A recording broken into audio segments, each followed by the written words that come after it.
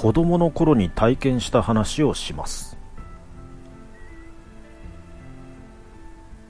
嘘だろマジかよ。この日友人 B と一緒にメダルゲームで遊んでいた時にジャックポットを出した。すると普通のメダルに混じって黒いメダルを2枚見つけた。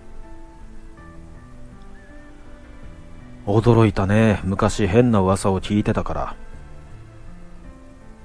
このゲーセンでメダルゲームを夜にやっていると稀に黒いメダルが出てくるというものだ。確かに金色のメダル1枚を普通のメダル20枚と交換してくれるという珍しいサービスがこのゲーセンにはあったんだけれども黒いメダルなんてのは一度も聞いたことがなかった。一応店員にも聞いたが知らないという。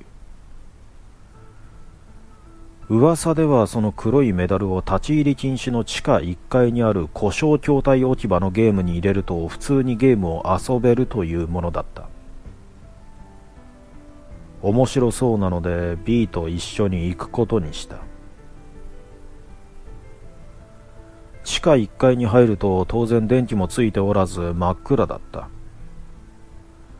無造作に奥に並べられた筐体が一層不気味さに拍車をかけている。その中の1台に目をつけ黒いメダルを入れてみる。薄緑色に焼けた画面に不気味な薄暗い森の映像が映し出された。音は一切ない。5分くらいすると登山装備に身を包んだ登山者らしき小さな人間が画面の端から現れて森を行ったり来たりしている。そして小さな声も聞こえる。誰かいないか助けてくれ。遭難した助けてくれ。おい誰かいないのか。声が小さすぎてよく聞き取れないが多分そう言っているように聞こえた。とうとう登山者は疲れ果てたのか画面中央にある古いしめ縄の巻かれた大木の下にへたり込み眠ってしまった。すると突如画面が暗転する。